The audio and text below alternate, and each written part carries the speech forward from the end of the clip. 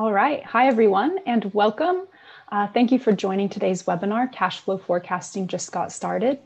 So in this webinar today, we're going to explore in depth how Fathom Forecasting can give you the tools to make more informed business decisions, understand your current and future cash, cash position, and plan for different business scenarios.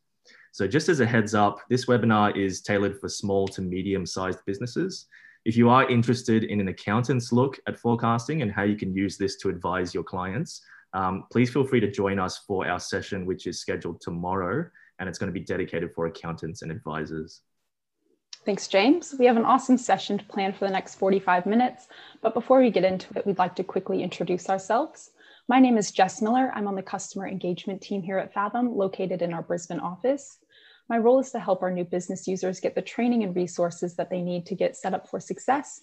Now, whether that sounds like you or not, please feel free to take down my email. I'd love to hear from you if you have any questions or comments about the session. I'm also joined here by my teammate, James. Thanks, Jess. Hi, everyone. It's great to be here. Um, my name is James Lynn. I'm a business development manager here at Fathom. Been with the team for over two years now and working closely with all kinds of accountants, um, advisors, businesses to help them streamline their, their reporting and advisory workflows. Beautiful. Now, here's our agenda for today. We'll start by giving just a little bit of background on who we are and what we do here at Fathom. Uh, then we'll dive into forecasting, why it's so necessary, some of the main pain points, and also take a look at the solutions. Uh, we'll also be jumping in and out of the Fathom product itself to show you some best practice tips on how our tool is used. The webinar will include a Q&A session at the end, so please feel free to ask any questions through the Zoom Q&A feature. We're hoping that by the end of the session, you'll know how Fathom will help you gain insight into the direction of your business and use that information to make informed business decisions and plan for the future. So just a bit of background for those of you who are quite new to Fathom. We are basically a management reporting and advisory solution for businesses and accountants with automated reporting, consolidations, and business analytics. And just recently, we've released our new cash flow forecasting feature, which is uh, what we're really going to be diving into today. So we were established in 2010 in Brisbane, and we've now expanded to a global team around the world with offices in the US, the UK, and also the Philippines as well. And we also work with over 40,000 organizations across the world, ranging from small businesses all the way to top 100 firms. Awesome. So let's jump into some forecasting basics. Uh, you may be familiar with this term three-way forecasting, but what is a three-way forecast? This simply means that your forecast is backed by your three financial statements, your profit and loss, your balance sheet, and your cash flow. There are two main methods of forecasting, direct and indirect. Now, the direct method uh, will use transactional data to pinpoint the specific date that cash will be coming in and out of your business. Fathom's forecasting tool uses the other method, which is the indirect method. Um, now, this uses your prior period actuals to predict a longer term cash flow. Uh, by using data that's already been recorded in your source accounting system, you have all the information needed to put together your cash flow statement. Uh, this method is widely used amongst businesses because it's simpler and it's also particularly useful if your business has a high volume of transactions. So as part of developing this tool, um, we have done a lot of research and asked a lot of people um, and gained a lot of feedback from different types of people on how they felt about the forecasting environment, the struggles that they were facing, and what they'd like to see more of in the market. So you can see some really big numbers on the screen there. We've done 78 interviews, over 200 survey participants, um, and over 800 support interactions as well with business owners, CFOs, accountants from different industries and across a range of different sized businesses. So some really notable feedback that we received from, from those uh, interactions are we, we forecast to be intentional about how we run our business and inform strategy. We make a plan and measure how we performed against it. And forecasting gives us peace of mind and guidance to make important decisions. So we realized from this that forecasts are absolutely integral for a lot of these businesses to be able to make those informed decisions going into the future. Awesome. We also noticed that there were some shared pain points across forecast creation. If you've created a forecast before, you might recognize some of these. So the first one here is that forecast creation can often be too time consuming. So oftentimes the process includes manual data input, input which is prone to human error.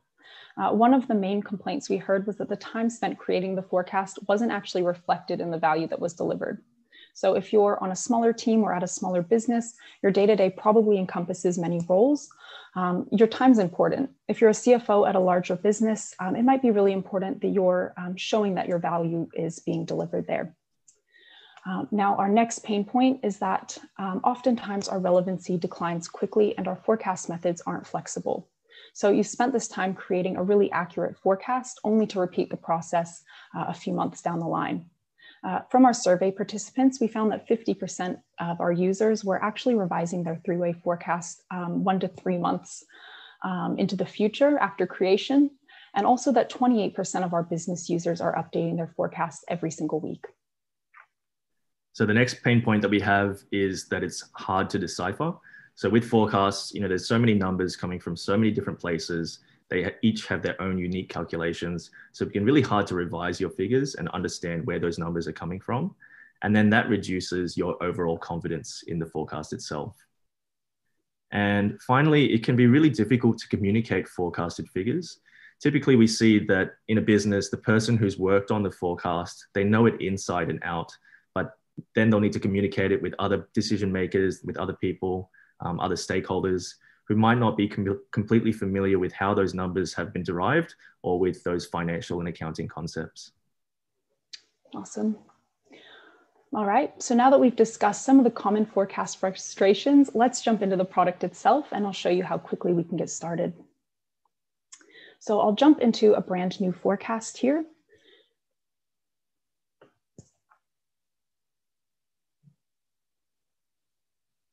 Now you'll see that I can get started um, and I'm actually welcomed with a few different methods to get started.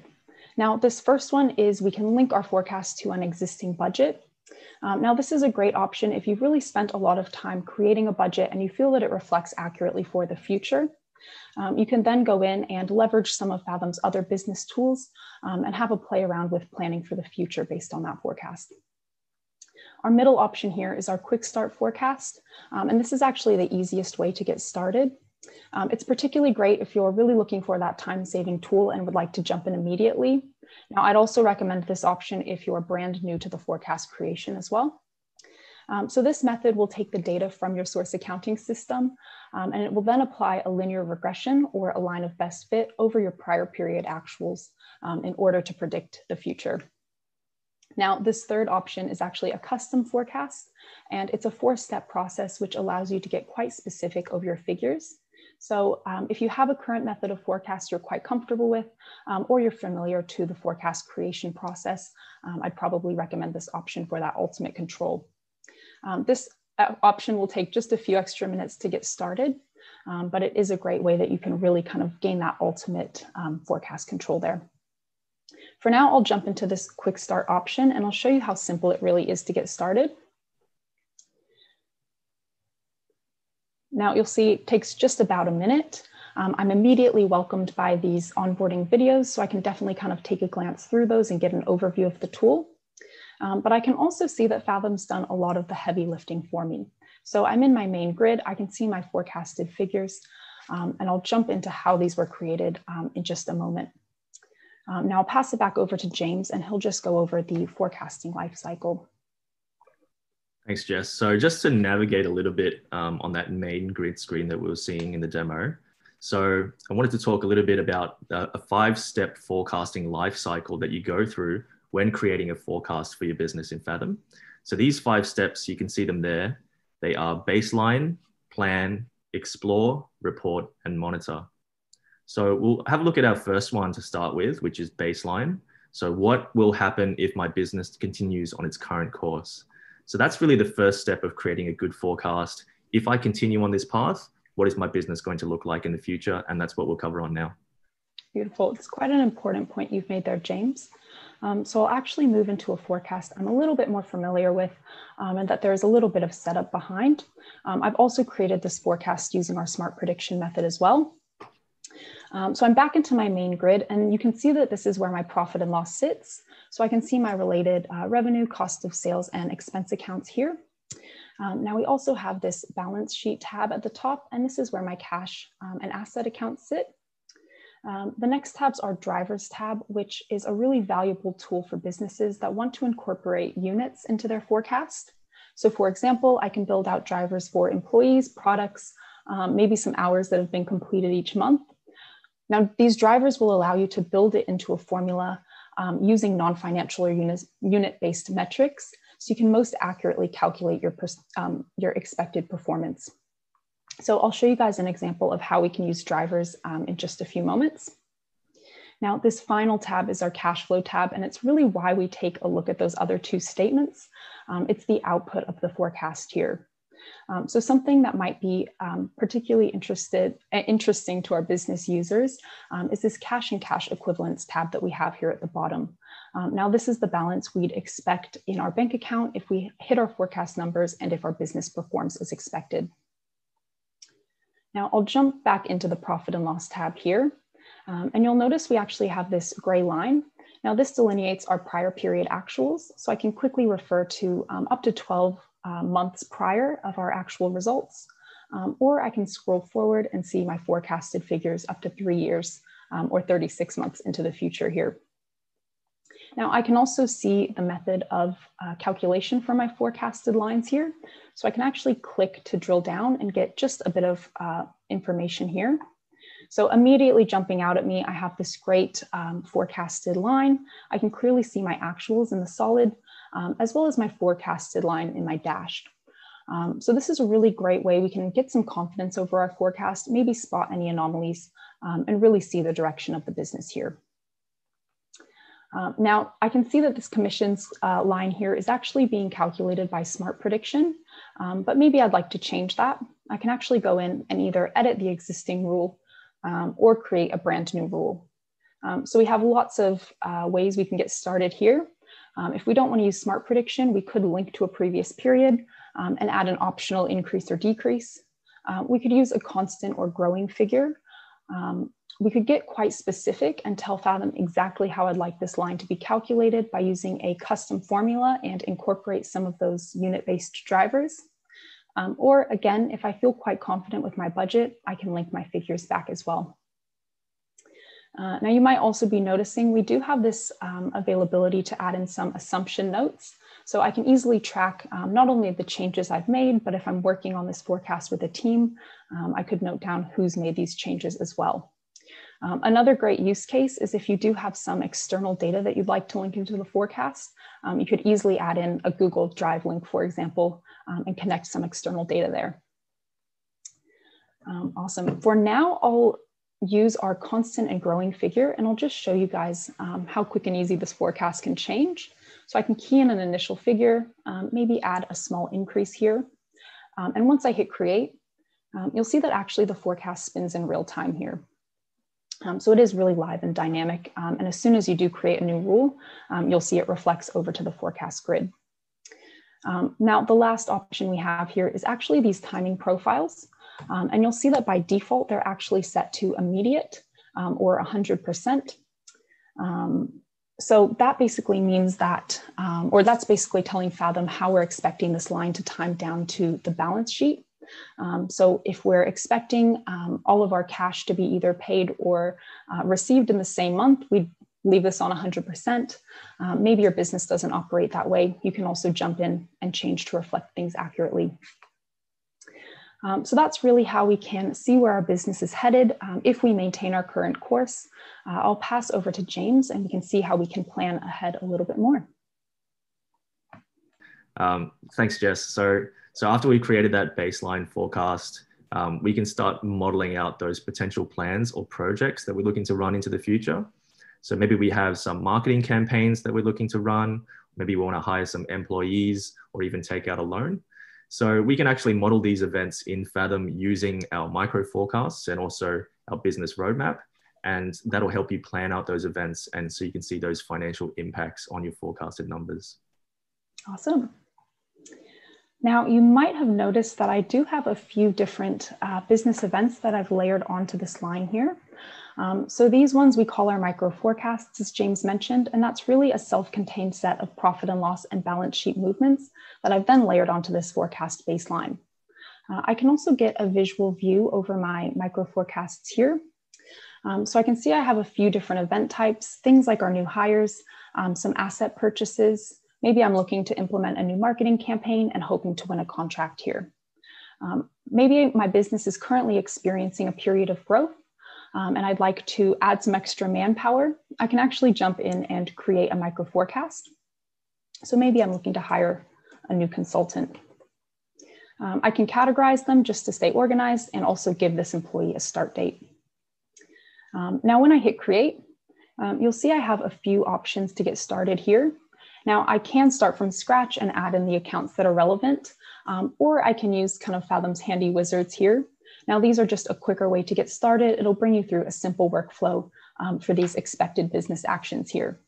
Um, so I'll choose this hire an employee option to get started. Um, and you'll see I have this really simple um, way I can provide some extra details. So this employee is full-time. Um, I can link them back to an expected salary, um, and I can connect them to an expense account here as well. Now, when I select next, um, you'll see I have some options for um, tax settings. So I've already done this setup and Fathom can read that automatically. Um, so I can give it a glance over um, and just check that things are squared away before proceeding on. So when I add this to my micro forecast, you can see that once again, Fathom's done a lot of that heavy lifting for me. So I've easily tracked all of the outgoings for this employee here. Um, now, hopefully if this consultant's any good, um, they're also going to be bringing me in some money. So I can also add in here an income account as well. Um, so likely we have a good idea of how this employee is going to perform. So when I'm adding in this, in, this income line, um, maybe I'd like to get quite specific and use a formula. So I've already built out some drivers for this employee. Um, I probably have a great idea of how many billable hours they're working each month. Um, and I probably have a good idea of how much um, they'll be able to charge as well here. So a really simple formula, timesing their billable hours by their billable rate. Um, when I create the rule, you'll see that once again, it spins in real time. Um, and I can see that hopefully my employee is going to be profitable around that September mark. Now, there is a more visual way that we can see our micro forecasts, and that's actually on this business roadmap. Um, so I can clearly see the different timings of these business events in a more visual way. Um, and I also have all of these uh, micro forecasts listed out on the side here.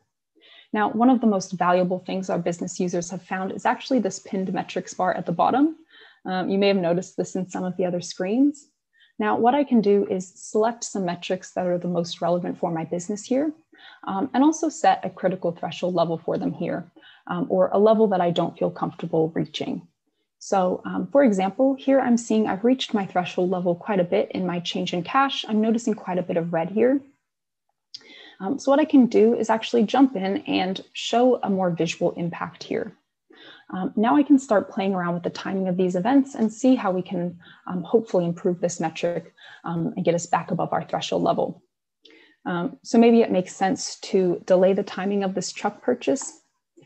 Um, and what I'm really looking to do here is get rid of some of those red areas and just smooth out some of those edges there as well. Great. So maybe I'm happier with the timing of this truck purchase in May. Um, and maybe I can also now delay this timing of my new truck driver hire as well there. Um, now, hopefully that gives you a little bit of an idea of some of the dynamic areas um, of Fathom and how we can really plan ahead with our forecast.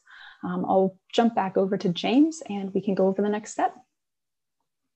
Thanks, Jess. Uh, I really love that business roadmap tool where you can visually see all of your different plans going forward. Um, Absolutely. So the next stage of the forecast lifecycle that we have here is explore.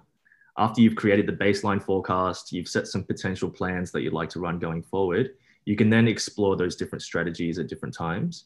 What you can do is mix and match micro forecasts to see which combinations and timings is going to give you the best return. And you can also uh, you can also see um, you can also explore potential best case or worst case scenarios that might occur in the future um, which is especially important nowadays because of so much uncertainty for businesses. Absolutely. Yeah, as James mentioned, you can do some scenario planning here. Um, so it's a great way that you can add a configuration onto your baseline um, and also tie in some of those business events that you're planning to do.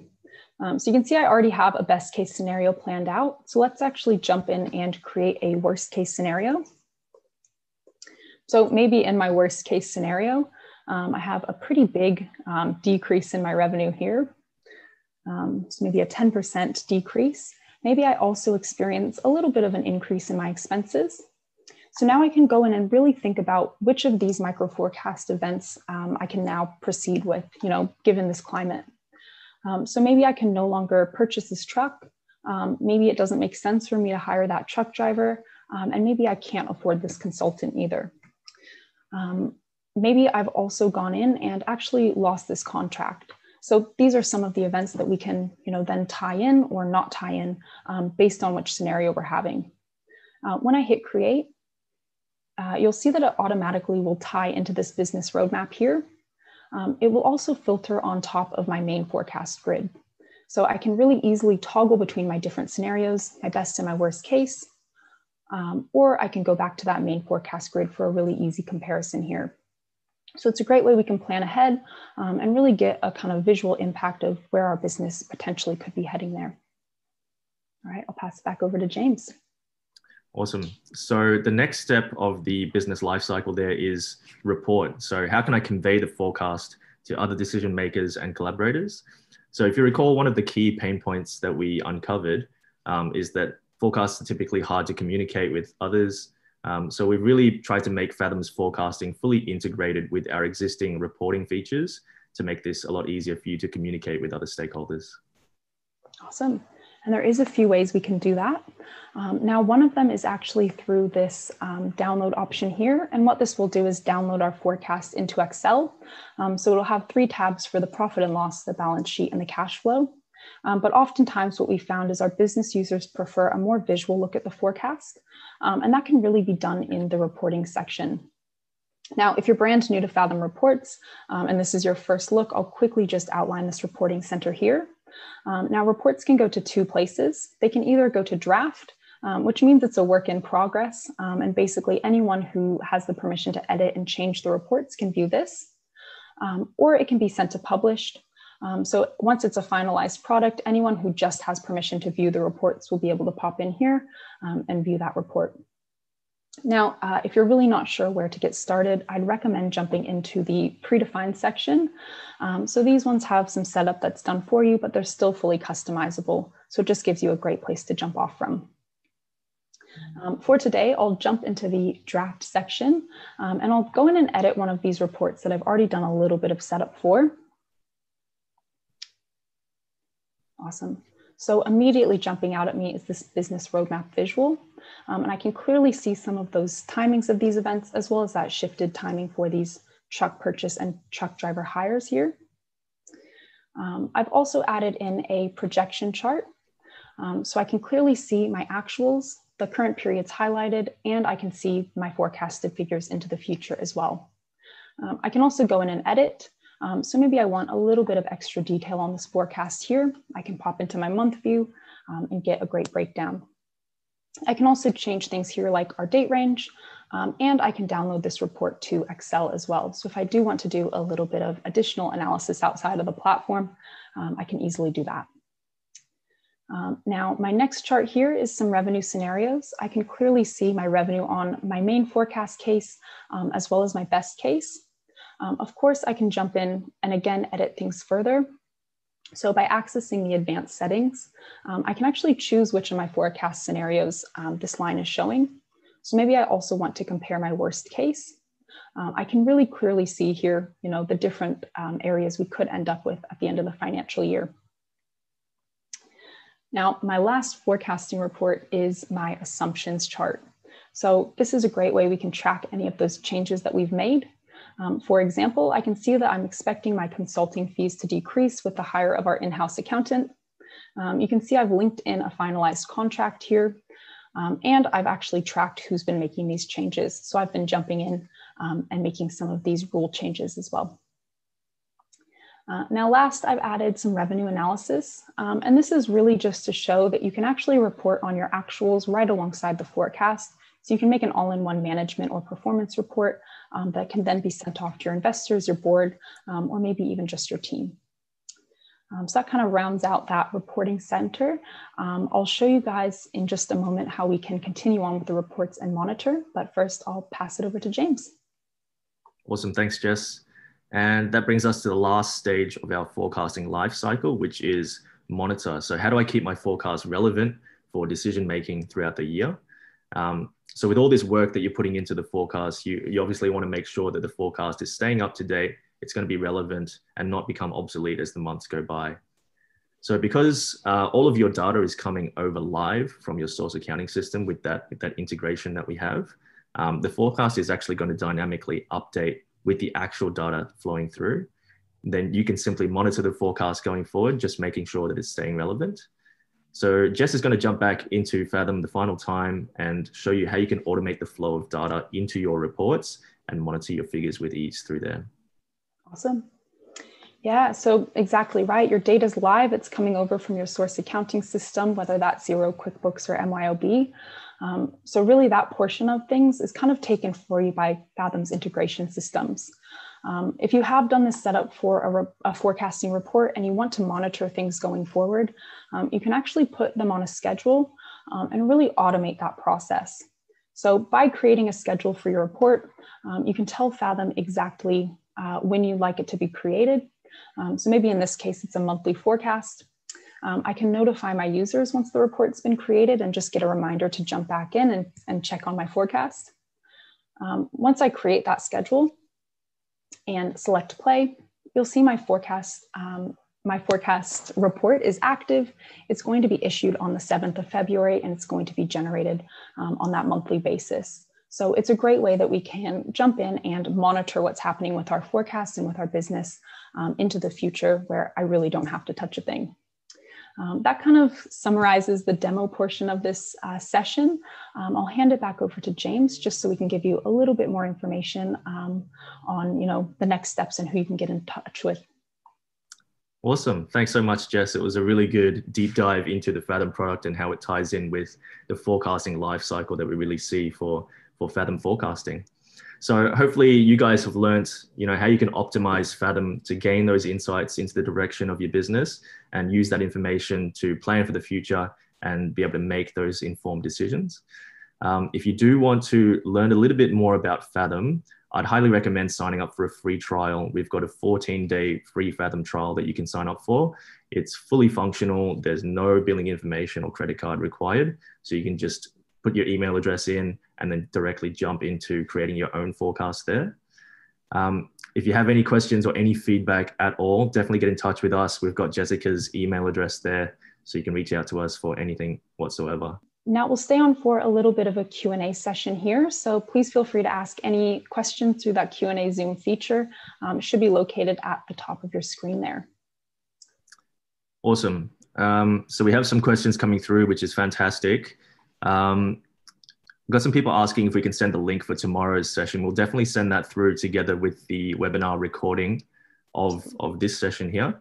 So no worries, we'll, we'll definitely send that through uh, via email. Um, another question here, can you also include a separate budget together with the forecast? So yeah. Jess, do you want to touch on that one a little bit? Absolutely. Yeah, it's a great question there. Um, so we can kind of incorporate a budget as well into Fathom. Um, it'll actually be located in the settings section. So just jumping into that one at the top here. Um, now you'll see that you're immediately brought into this section where we can manage our budgets. Um, it's step one. Um, and you'll see a few different things here. Um, for this company, I have my budget coming over from Excel. Uh, now, it could also come from your source accounting system, whether that's Xero, QuickBooks, or MYOB.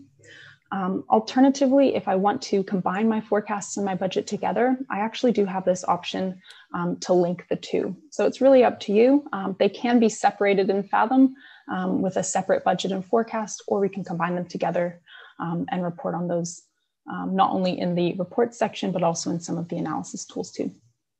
Yeah, absolutely. It's it's all kind of integrated together. So all of the different um, sections of Fathom all speak to each other. So you can use the forecast or the budget in any of the different areas. Absolutely. Um, I've got a question here. I have multiple entities that I'd like to forecast. Do you support this? Yeah, awesome question. Um, so we can actually uh, forecast for a group in two different ways. Um, if you have some underlying forecasts that you've made, maybe you've made them for each of your companies, um, you could use this link, um, link to forecast option. Um, Fathom's consolidation feature actually will roll up your budget um, and you'll be able to get started that way. Uh, alternatively, you can actually create a forecast at the group level as well. Um, so you'll see I do have that kind of forecasting feature here. So definitely two available options for you. You can either build it out at the group level um, or use your underlying forecasts and roll those up together. Yep, awesome. Um, another question here. Can you give us an example of a driver and maybe show the driver functionality a little bit? Yeah, definitely. And that's one I didn't kind of jump into in too much depth. Um, so I'll jump back into the forecast section here. And just at the top here, again, we have kind of that driver section. Um, now, I do have this option to create a driver here. Um, so it's as long as it's unit based, we can pretty much import it, but maybe I'm looking to um, build out that consultant a little bit more and I'd like to link them back to some training costs. Um, again, I can categorize it. So maybe in this case, it's an employee driver. Um, and it's just going to give me one of those lines to then jump in and create a value rule. Um, so we probably have a pretty good idea of how much our training is going to cost. Um, so maybe it's 500 a month. I can easily kind of create the rule. Um, you'll see it spins in real time. Uh, then when I build out kind of my formulas, I can incorporate this training costs metric into a driver as well. Um, yeah. Awesome. Yeah, drivers are really useful to, to um, incorporate external data. And if you wanted to generate formulas and things like that, um, really, really useful for that purpose. Absolutely. Um, got a question coming in. How much does forecasting cost? Is it is it an extra extra cost for that feature? Oh yeah, good question as well. Um, if you're familiar with Fathom, um, you probably know that we've kind of more typically had the analysis and reporting features. Um, and we've just kind of moved into that forecast space. Um, it is all wrapped up into the one Fathom price. Um, so you're not paying any additional for that feature. Yep, absolutely. Awesome. Um, and we'll maybe just do one more question. We'll definitely get to everybody's question. Um, if we, we, if we don't get to your question today on the live on the live chat, um, what we'll do is we'll send an email out and make sure to to respond to your question there. But we'll just do one more. Um, a question from Rob Can you have multiple forecast versions? Um, Jess, do you want to tackle that? I think you could probably achieve that using the scenarios. What do you think? I think so too. Yeah, so it is kind of a good way you can save different versions of your forecast. Um, it is kind of that configuration onto the baseline, and you can roll up those um, underlying events as well on top. Um, it's a great way that you can kind of plan for different scenarios and plan for different forecasts. Um, and then of course you can report on those different ones as well. I'd say scenario is probably the best way to achieve that one. Yep, definitely. Alrighty. Um, so again, we'll, we'll definitely touch on everybody's question. We'll send that directly to you. Um, but otherwise, that does conclude today's webinar session. So I really appreciate all of you taking the time out of your day to join us and hope that was an interesting and, and valuable session for you. Again, if you do want to give this a try, you can certainly um, jump onto our website and sign up for your own free trial. So it's you, would be able to create your own forecasts and your own reports and see how everything goes. Um, otherwise, I hope you guys enjoy the rest of your day and, and thanks again for joining us. Absolutely. Thanks so much, everyone. Have a great day. All righty. See you soon. Bye.